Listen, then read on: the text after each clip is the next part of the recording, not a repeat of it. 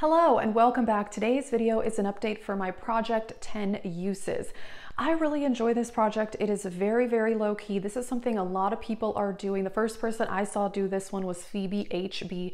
A lot of other people are doing a project 10 uses, project 20 uses, things like that. I'm also doing a project 100 uses where I'm trying to get to 100 uses on a lot of very difficult to pan items. So you can check that out if you are interested. This is just me picking four or five items at a time, trying to use them 10 times. It's kind of like a shop my stash, except in my shop my stash, I usually only use things between two to four times. Um, this is kind of a way for me to get usage out of some pretty neglected products. And I've been doing all eyeshadow palettes lately. I have in the past also done like highlighters and lip products, but I'm kind of sticking with eyeshadow palettes right now because I really want to be rotating through my collection. I definitely have a large eyeshadow palette collection. So first I'm going to recap the ones I use 10 times and then I'll be picking out some new palettes. Let's get into it. All right, the first one that I had is this Fenty palette, and I did use this 10 times. All of these I used 10 times, so all four will be rolled out. This one, I gotta say I enjoyed it more. I have said before that these Fenty Snap Shadows, I like them, but they're not my favorite. I did enjoy this though, and this does have some cooler tones, and I have mentioned that my eyeshadow palette collection is definitely lacking in cool tones. Therefore, I definitely enjoyed using this, and I really do wanna use it more, and I gotta say, I actually like this a lot more now than before I put it in this project, so that is definitely a win. Now this next palette, it's not my favorite actually.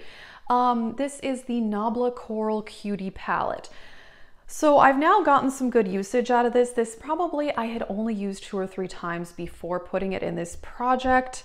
And I don't think it's my favorite formula, unfortunately. Um, these two glittery type shades are definitely difficult to work with. The mattes are very nice. The mattes are fantastic quality. This more metallic is really nice. And then you have a satin shade.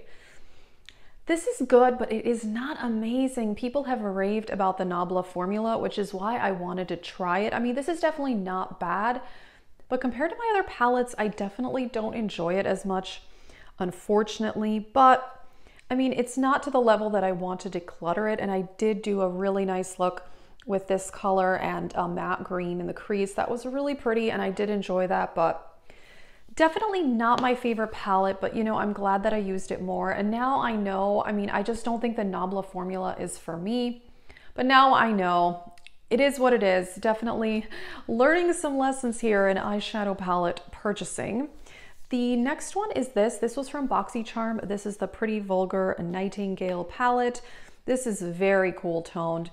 And I did really enjoy this palette. Now this, I have noticed that the shimmers, you definitely have to be careful with them.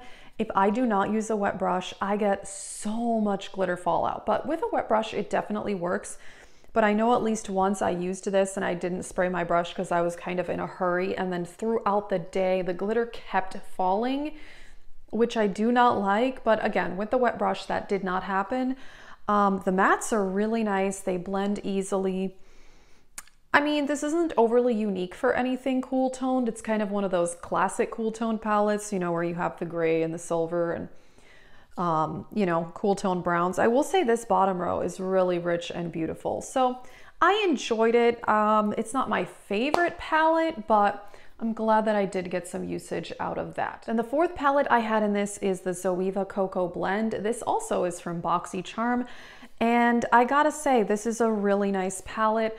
I definitely like the matte shades more than the metallics. Some of the metallics are a bit more sheer than others. Like this one is really pigmented, but then like that one is not as pigmented. But overall, I do really like this.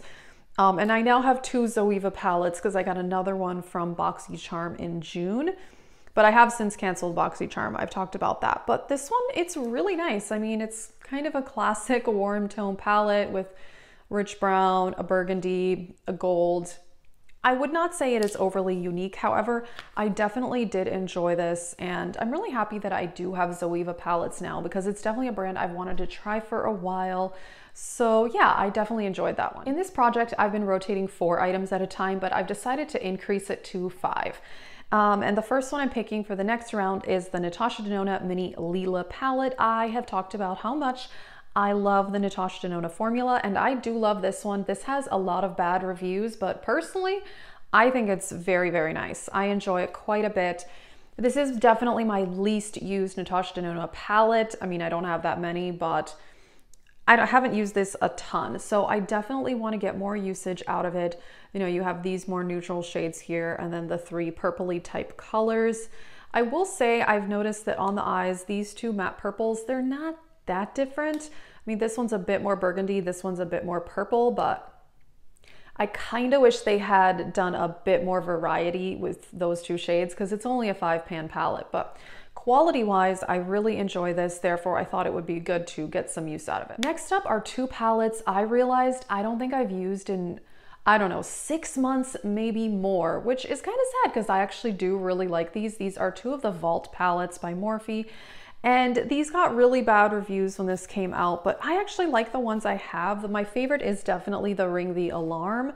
Very rich warm tones. This is a really beautiful palette and I enjoy it quite a bit. But like I said, I haven't used this in long, long time. So I thought this would be a good one to put in this project. And then same with this one. This is the Armed and Gorgeous.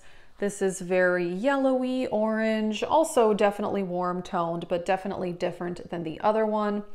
Like I said, I like these. I do think they are good quality.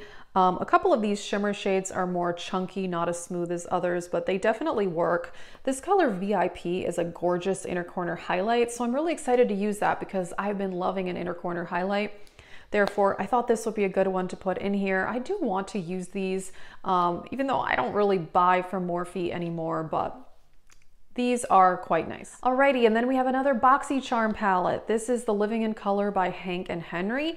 And this is one that I was surprised. This is very, very good quality, but I think I've only used it like four or five times since I got it. And I think this was in BoxyCharm in March or April. So I definitely want to get some use out of these. The metallic shimmers, they are beautiful. I did a palette bingo video with this actually a while ago, and I was really, really impressed with the quality. The mattes also blend very well. You have some colorful shades, some more neutral type shades. This is a really high quality palette. Honestly, my only complaint is that it is so thick. Uh, this just seemed like really excessive, unnecessary packaging. They could have cut this width down in half and I would have much, much preferred it, but color selection quality is very nice, so definitely want to use this one. Alrighty, and last up we have a Juvia's Place palette. I have mentioned in several videos that this is my least used Juvia's Place palette, but I really do want to use it because it is really good. I just don't reach for it. I think it's one of those palettes I just kind of forget that I own. This is the Warrior 2 and this is all matte. And I am actually wearing these matte shades along with the Milani Gilded Coast palette. The black and the brown um, are from this palette and the quality is great. I don't know why I'm not using this and it is a beautiful color selection and you do have some cool tones, which I do want to use more cool tones for sure. I mean, most of it is very warm toned and rich, but this is beautiful. The quality is amazing. I mean, I love the Juvia's Place qualities, so it's kind of sad that I've hardly used this, but I've actually used this palette four or five times in the last few weeks, so I thought it would be good to put it in this project um, to use it some more because yeah, it is really, really nice. And I've actually been wanting to do an all matte look using this palette. I really enjoy all matte eyeshadow looks, um, and this would be a good palette for that. Or it's a good, you know, supplementary palette to one that has more shimmers and metallics. Alrighty, that is it for this update. I'm really enjoying this because I really want to be rotating through my palettes. I have quite a few in my collection and I really don't want to neglect them. I am also doing a Pan That palette, so you know, I have to obviously use that quite a bit to get usage on that. And there are other palettes that I'm trying to hit pan on, so I just don't want to focus too much on those palettes and neglect everything else. Therefore, this is a really, really good project. I've really enjoyed it. I gotta say, I've been kind of thinking about maybe decluttering a couple palettes, I'm not sure. I can't really decide because I definitely don't want to regret any declutters. Unfortunately, that has happened to me in the past. but we shall see. I'm not quite ready to do that. So yeah, if you're interested, my Project Pan and my Pan That Palette playlists will be in the description box. That is it. Thank you so much for watching.